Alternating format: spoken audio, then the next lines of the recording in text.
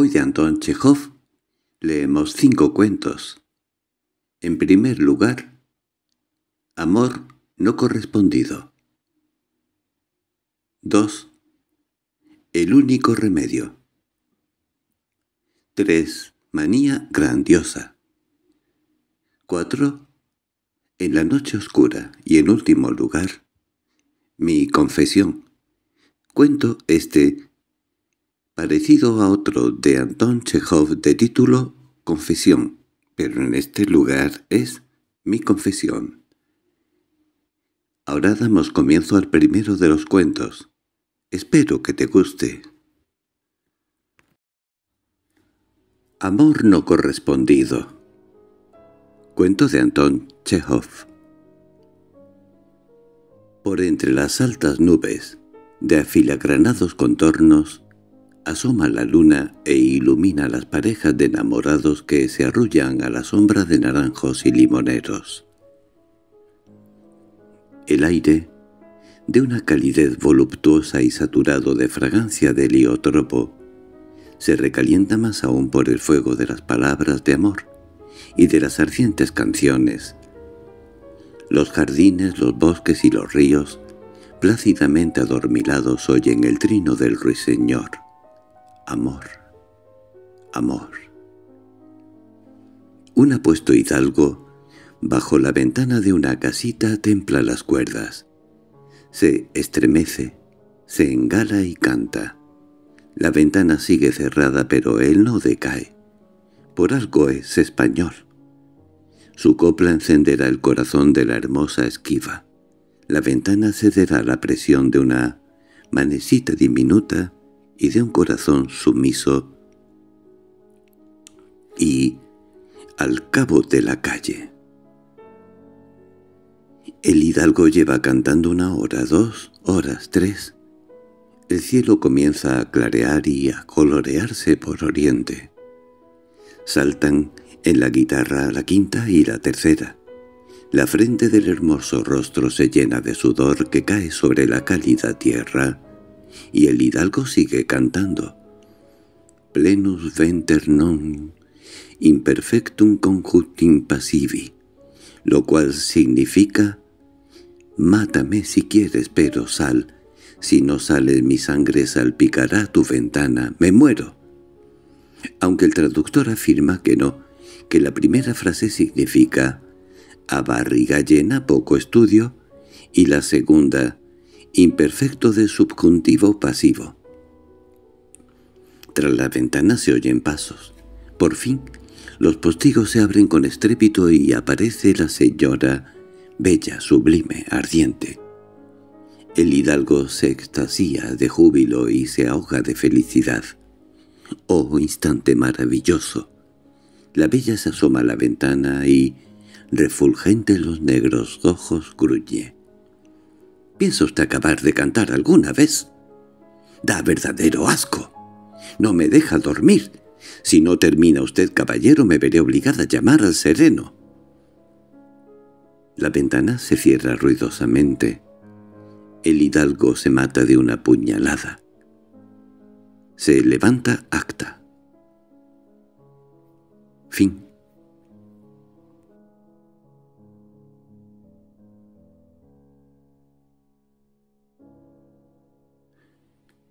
El único remedio.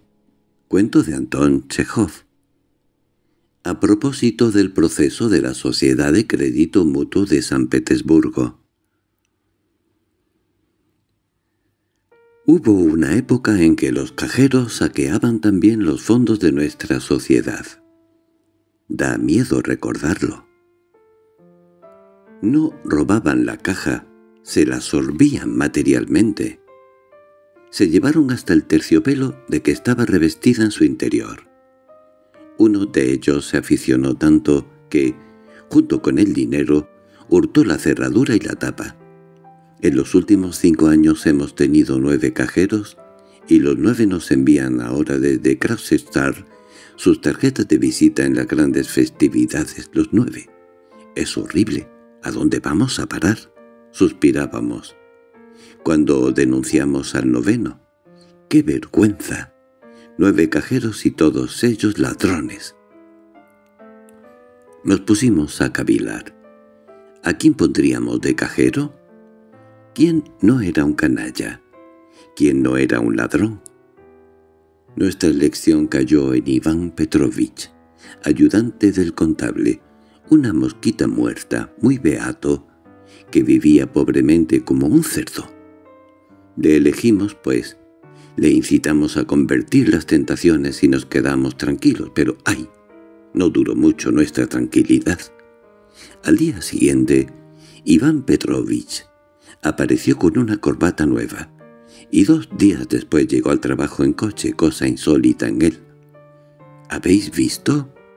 —murmurábamos al cabo de una semana. —Corbata nueva, lentes. Ayer nos invitó a celebrar su santo. Aquí debe de haber gato encerrado. Reza mucho más que antes. Es de suponer que tenga la conciencia menos limpia. Y comunicamos nuestras sospechas a su excelencia. —¿Nos va a salir rana hasta el décimo? —suspiró nuestro director. —No, es imposible.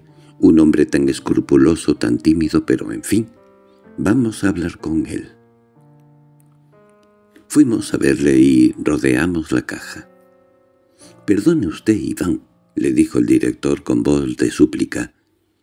«Tenemos en usted entera confianza, la tenemos desde luego. Pero permítanos que revisemos la caja. Háganos ese favor». «Muy bien, magnífico», respondió sin titubear el cajero. «Revisen cuanto quieran». Contamos el dinero y faltaban cuatrocientos rublos. De manera que también el décimo. ¡Qué horror! Esta fue nuestra primera conclusión, pero además pensamos que si en una semana había devorado una suma tan respetable, ¿cuánto se embolsaría en un año o en dos? Quedamos petrificados de terror, de asombro, de desesperación. ¿Qué hacer? ¿Qué partido tomar? ¿Denunciarlo a los tribunales? No. Eso era anticuado e inútil. El undécimo y el duodécimo también desfalcaron la caja y contra todo no íbamos a querellarnos.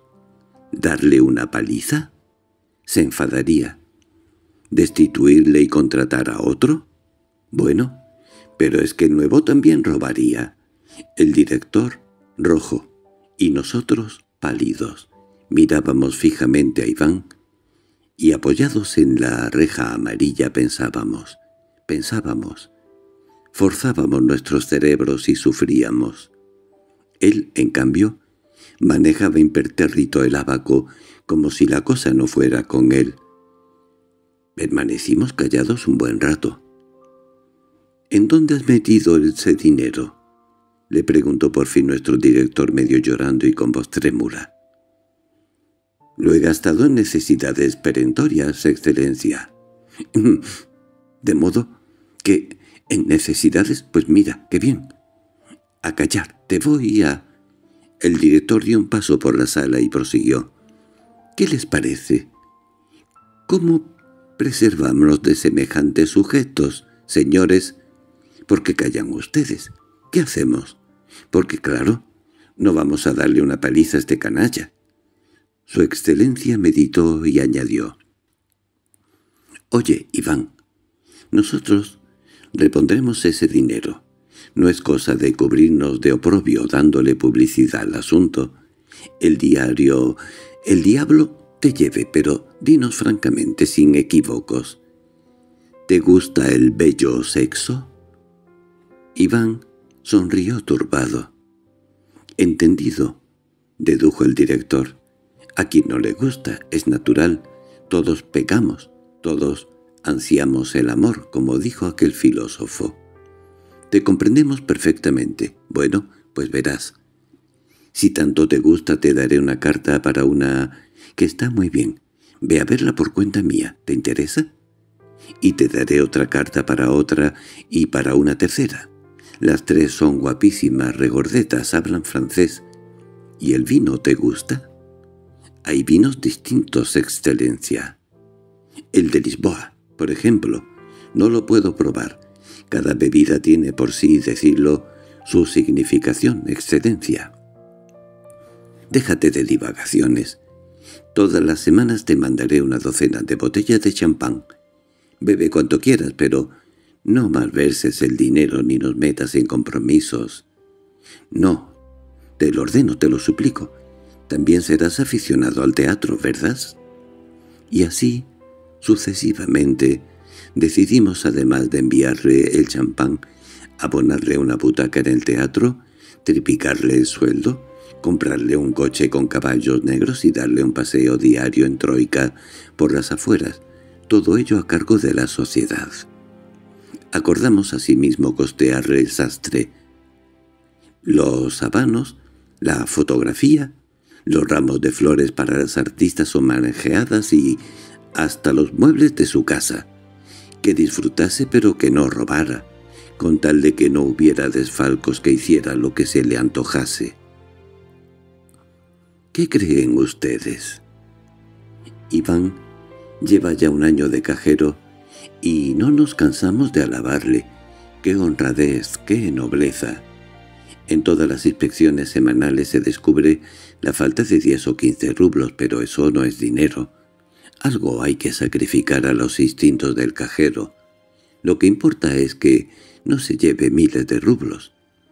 Y aquí nos tienen ustedes tan felices. Nuestra caja está siempre llena. Cierto que el cajero nos sale por un ojo de la cara, pero no deja de resultar diez veces más barato que cada uno de sus antecesores. Les juro que pocas sociedades y pocos bancos tienen un cajero tan barato. Salimos ganando con él, y serán ustedes unos chuscos si no imitan nuestro ejemplo. Fin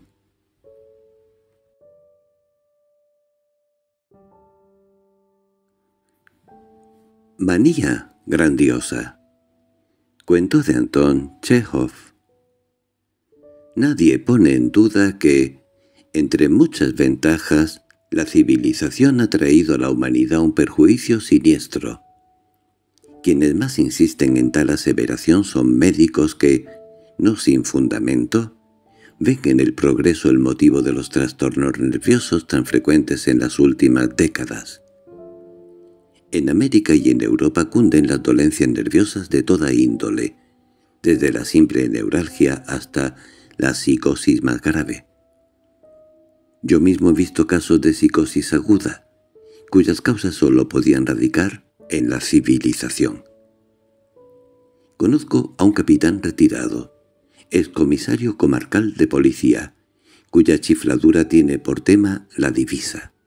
Las reuniones están prohibidas, y como las reuniones están prohibidas, ha mandado talar su bosque. No come con la familia, impide que el rebaño del pueblo entre en sus terrenos, etc. En cierta ocasión, al invitarle a tomar parte en las elecciones, respondió, «¿Pero no saben ustedes que las reuniones están prohibidas?»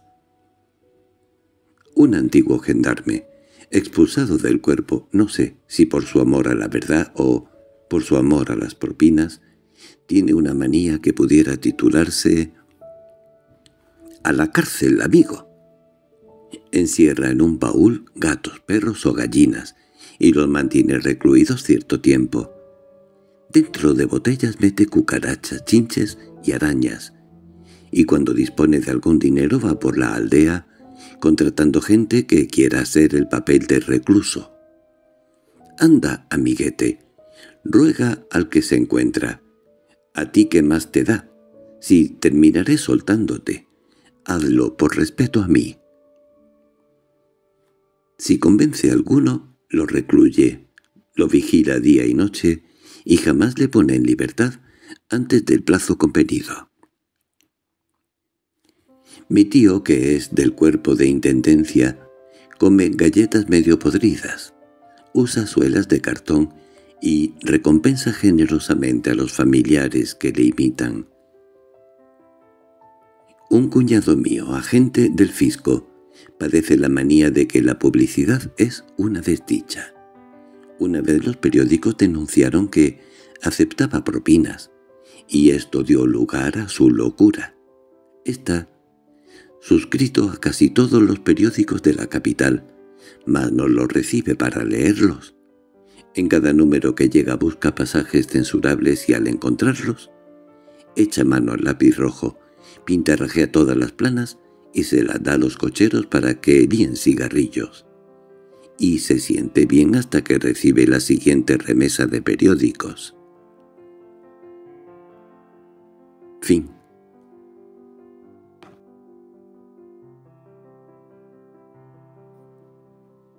En la noche oscura Cuento de Anton Chekhov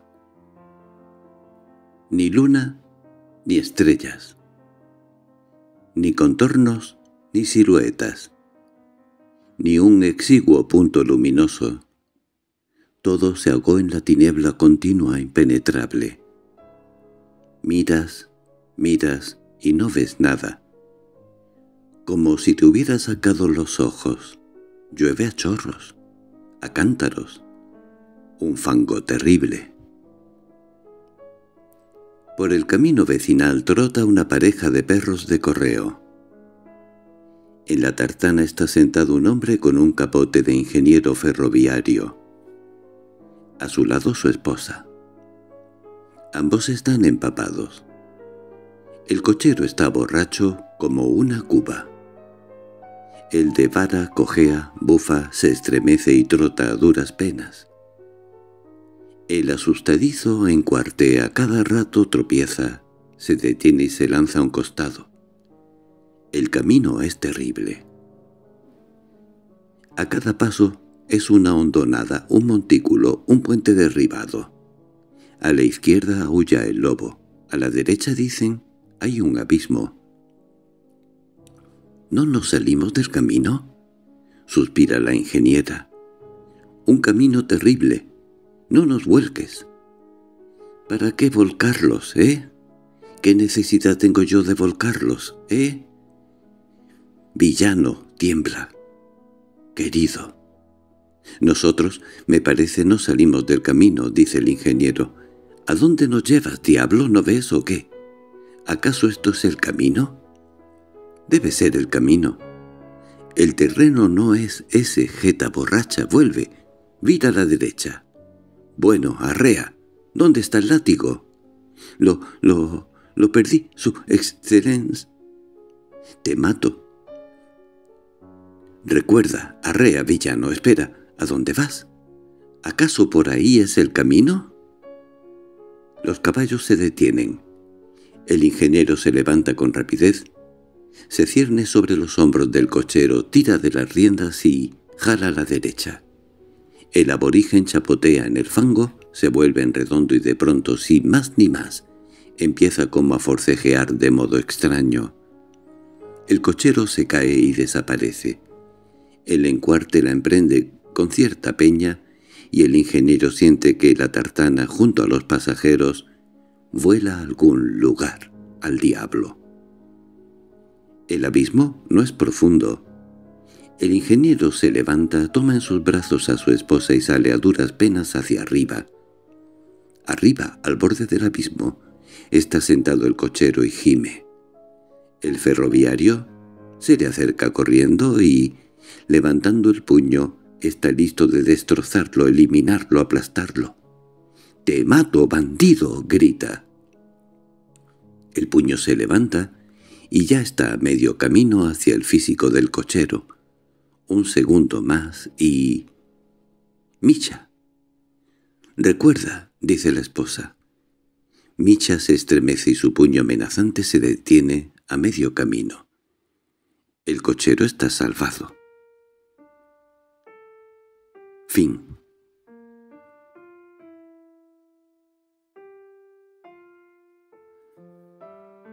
Mi confesión. Cuento de Anton Chekhov. Era un día claro y frío. Me sentía tan a gusto como el cochero a quien, por equivocación, le dan un rubro en vez de veinte copex. Tenía ganas de llorar y de reír y de rezar. Creía estar en el decimosexto cielo. Me habían hecho cajero y no me regocijaba porque allí en adelante tendría ocasión de forrarme los bolsillos aún. No me había convertido en un ladrón. Y hubiera descuartizado a quien se hubiese atrevido a insinuarme que, con el tiempo, caería en la trampa. Mi contento se debía tan solo al ascenso en el empleo y al insignificante aumento de sueldo. Tenía, sin embargo, otro motivo de júbilo. Al ocupar el puesto de cajero fue como si me hubieran colocado sobre la nariz unas gafas de cristales rosáceos. Se me antojaba que la gente había cambiado. Palabra de honor. Todo el mundo había mejorado. Los feos eran guapos, los malos buenos, los soberbios humildes y los misántropos filántropos. Creí haberme despojado, Vi en las personas cualidades magníficas anteriormente insospechadas. ¡Qué extraño! me decía a mí mismo, restregándome los ojos. O algo les ha pasado a los demás, o yo era tonto e incapaz de descubrir estas cualidades. ¡Qué delicia de gente! El mismo día de mi nombramiento, Cambiado por completo, Zaruskov, uno de los miembros de nuestra administración, orgulloso, fatuo, que ni siquiera advertía la presencia de los peces pequeños, se me acercó. ¿Y qué le había sucedido? Sonriendo afectuosamente me dio unas palmadas en el hombro. «No está bien tanto orgullo para tan pocos años», me dijo. «No está bien. ¿Por qué no viene nunca a mi casa?» Le advierto que es una falta, y hay que ver la de jóvenes que allí se reúnen y lo alegremente que lo pasan. Mis hijas no hacen más que preguntarme, «Papaito, ¿por qué no invita a Grigory Zummich? Es tan simpático». «Cualquiera le trae», suelo responder. «Pero procuraré hacerlo, le invitaré». «No se haga rogar tanto, padrecito, pues, por casa asombroso. ¿Qué mosca le habrá picado? ¿O se habrá vuelto loco? ¿Era un ogro y de buenas a primeras? Al llegar a mi casa me esperaba otra sorpresa. Mi madre no sirvió dos platos como de costumbre, sino cuatro. Por la noche, para la cena, nos puso con el té mermelada y tortas. Al día siguiente, otros cuatro platos, y otra vez mermelada. Vinieron unos invitados y se les acasajó con chocolate, y al tercer día el mismo cuadro. «Madre», le dije, «¿a santo de qué viene todo esto? ¿Por qué tanta esplendidez? Tenga en cuenta que no me han duplicado el sueldo, el aumento es mísero». Mi madre me miró sorprendida. «¿Dónde piensas meter el dinero?» preguntó. ¿Vas a guardarlo en una hucha? El diablo que les entendiera.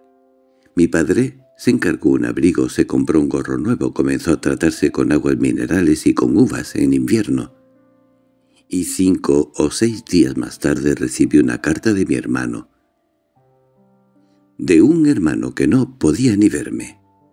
No separaba la diversidad de convicciones, yo le parecía un egoísta, un zángano incapaz de sacrificarse. Por eso me odiaba. No obstante, leí en la carta, «Querido hermano, siempre te he amado, y no puedes imaginarte cómo me tortura nuestra disputa. Hagamos las paces, demonios, la mano, y reine la concordia, te lo suplico. En espera de tu respuesta te besa y abraza a tu hermano que te quiere». «Oh, amado hermano», le contesté, que me alegraba de su decisión y le enviaba un abrazo. Una semana después recibí un telegrama de él. «Gracias, soy feliz. Mándame cien rublos. Los necesito mucho, ¿te abraza?» Le mandé los cien rublos. Incluso ella cambió. Antes me detestaba. Una vez que se me ocurrió insinuarle los anhelos de mi corazón me llamó desvergonzado y me dio un bufido en mi propia cara, en cambio, a la semana de mi nombramiento sonrió al encontrarme, haciéndosele unos hoyitos muy graciosos en la cara, y se ruborizó. ¿Qué le ha sucedido? Me pregunto, mirándome embelesada. ¿Cuánto ha mejorado usted? ¿Qué le ha sucedido? ¿Cómo ha sido posible? Vamos a bailar. Paloma mía, al cabo de un mes su madre era ya mi suegra. Fíjense si yo habría mejorado. Necesitábamos dinero para la boda y saqué de la caja 300 rublos, que tenía de particular si los restituíamos cuando cobrase. De camino saqué otros 100 rubios para Kasusov. Me los pidió prestados y no convenía negárselos, porque era un tipo influyente que podía echarme de mi puesto en el momento que quisiera. La editorial, considerando un poco largo este relato, ha tachado aquí 83 líneas con grave perjuicio para los honorarios del autor. Una semana antes de ser detenido, les ofrecí un agape a petición de ellos mismos, a ver si reventaban de un hartón, ya que tanta gana de comer tenía. No conté cuántos huéspedes hubo. Recuerdo tan solo que mis nueve habitaciones estaban atestadas de gente. Había viejos y jóvenes. Asistieron incluso algunos personajes ante los que doblaba el espinazo el propio Kazusov. Las hijas de éste, la mayor de ellas era mi adorada esposa. Segaban con sus atavíos. Solamente las flores que llevaban me habían costado más de mil rublos. ¡Qué alegría reinó! Música se toca, arañas que resplandecen, champán que corre a raudales. Se pronunciaron largos discursos y brindis breves. Un periodista me dedicó una oda y otro una balada. En Rusia no se sabe apreciar a personas como Grigori Kumis gritó durante la cena. ¡Qué lástima, qué lástima de Rusia! Pero todos, los que me enaltecían me dedicaban versos y me besaban, se ponían a murmurar o me hacían la figa en cuanto yo daba la vuelta. Vi sonrisas, vi figas, oí murmuraciones. Todo lo ha robado el muy canalla. Cuchicheaban sonriendo con malicia. Sin embargo, ni las figas ni las habladurías le impidieron atiborrarse, beber y disfrutar. Ni los lobos, ni los diabéticos son capaces de comer como lo hicieron ellos. Mi mujer, refulgente de pedrería de oro, se me acercó para musitar en mi oído. Ahí dicen que lo ha robado todo. Si es verdad, ten cuidado, yo no puedo vivir con un ladrón. Me marcharía. Al hablar así, reacomodaba el vestido valorado en cinco mil rublos. Cualquiera les entendía.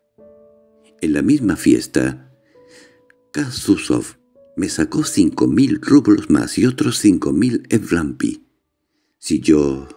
se murmuraba es cierto, me dijo el puritano de mi hermanito, mientras se metía el dinero en el bolsillo. Ten mucho cuidado. Yo no puedo ser hermano de un ladrón. Después del baile lo llevé a todos a dar un paseo en troika por el campo. Serían las seis de la mañana cuando terminamos. Debilitados por el vino y las mujeres, se tendieron en los trineos para regresar, y en el momento de partir me gritaron como despedida, «Mañana habrá inspección». Señoras y señores, he caído en el Carlito. Dicho de otro modo, ayer era un hombre respetable, honesto, digno de toda alabanza, hoy soy un granuja, un malversador y un ladrón. Gritad, blasfemad, alborotad, asombraos, condenadme, deportadme, escribid editoriales, apedrearme, pero... Por favor, no todos, no todos, todos no. Fin